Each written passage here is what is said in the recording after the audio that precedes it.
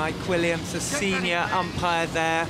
Couldn't be in safer hands in this semi-final of the Princess Royal Challenge Cup. Lisa Scheenaard against Attention. Laura Wheeler. Go! And they're off these smaller and rocky boats coming out the start. Both crews both women absolutely using their legs well. The stroke rates are high. You can hear the umpires launch. It's accelerating.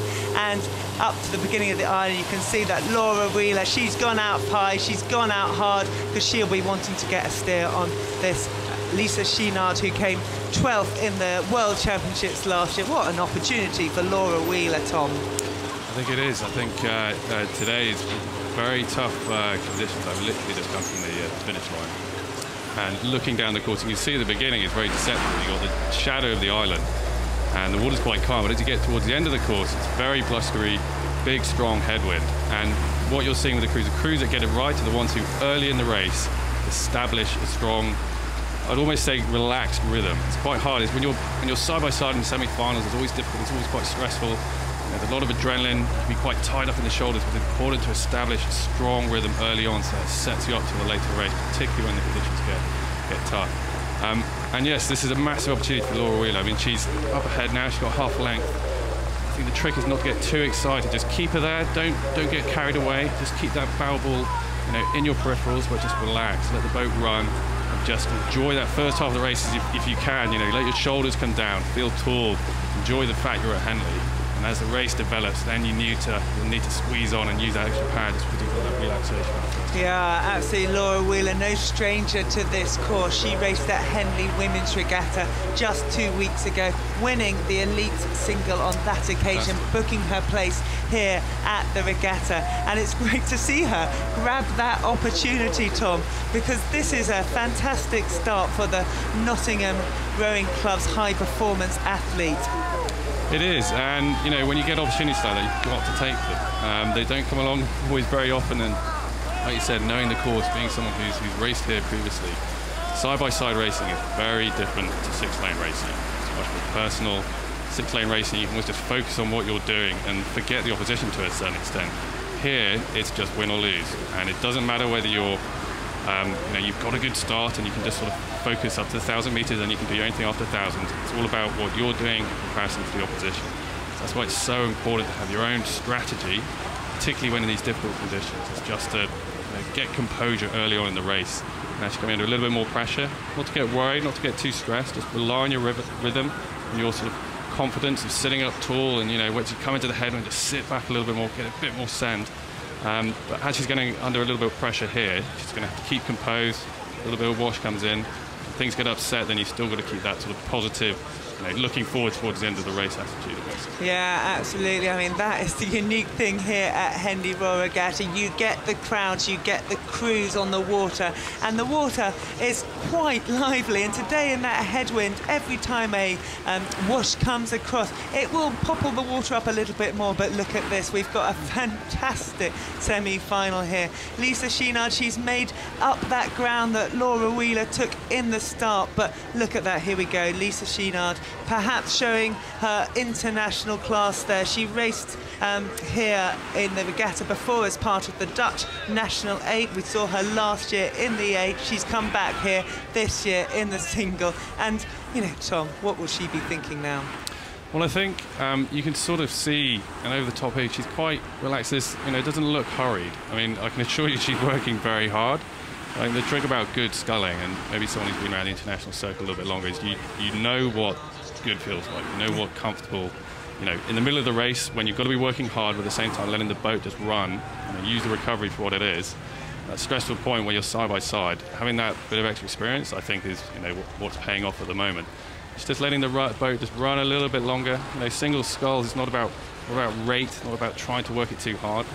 Um, it's about feel. It's about when you collect the boat, you know, giving it the right amount of of of acceleration, but not to hurry it, not to force it. Um, particularly when you've got this sort of pressured scenario, side by side in the semi-final, you know, you've got to get through to, to, try and get to that win. It doesn't matter what happens. Uh, you know, if you don't get through the semi-final, then okay, fine, you've, you've had a good Henley, but getting to the final tomorrow is the absolute key, um, Yeah. and that's the chance to then to win the title. Yeah, absolutely. And actually, what we're looking here is two crews that are doing different strategy on rate. We've got Lisa there at about 29 and a half strokes a minute. That's slightly longer stroke. And then Laura in the, in the boat that's on the top of the course, she was at 32. So she is giving it absolutely everything she could. But what we're looking now there is Lisa Scheenaard.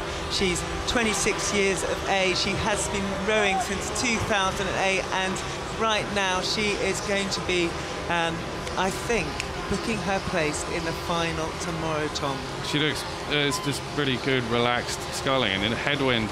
Okay, the bow needs to be lively. You can't let it get heavy, but at the same time, you can't force it. You can't be up in the shoulders. You can't be trying to stamp on the front end. Just nice, relaxed rowing. And now she's got a margin. Now she can just keep easing away. Okay, not not thinking ahead to the final too much yet. Still need to get the race finished.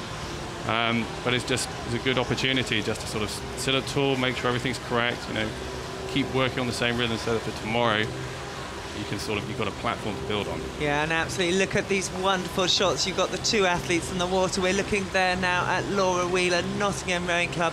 She has done everything she can to hold on to this very experienced Dutch international woman. But right now, she is uh, a little bit off the pace, and I would say that she has done her work for today. She will work all the way to the Yeah. end, but you see the international woman um, who is ahead. But it's a tough one. I mean, this is this is uh, the, the tricky thing when it comes to side-by-side racing. What do you do if, you are the underdog coming in and you're up against an international, someone's more seasoned? You've got to try and put them under pressure early on. You've got to try and offset what they're going to do to disrupt what you know is, is obviously good rowing and you know going to someone who can probably a little bit stronger, a bit more experienced, able to deal with the conditions.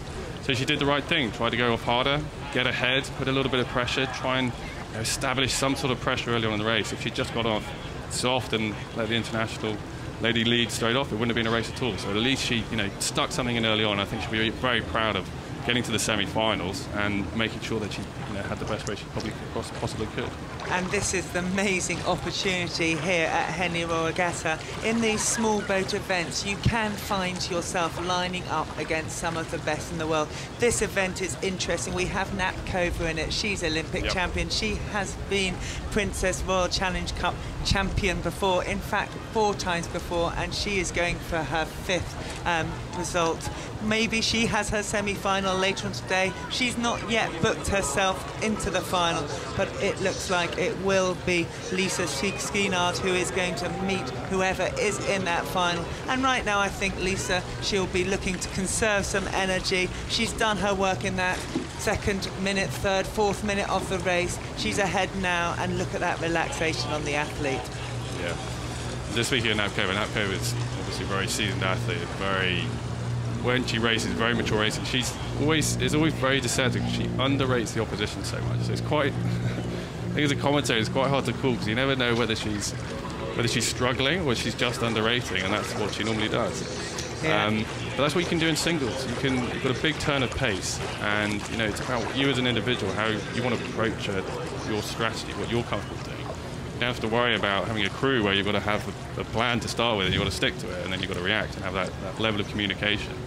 Um, so you see a lot of different tactics, and that Kova is a very interesting sculler because of that. She underrates the opposition often. Very powerful. Um, it's a very good example of good sculling. It's being able to let the boat run.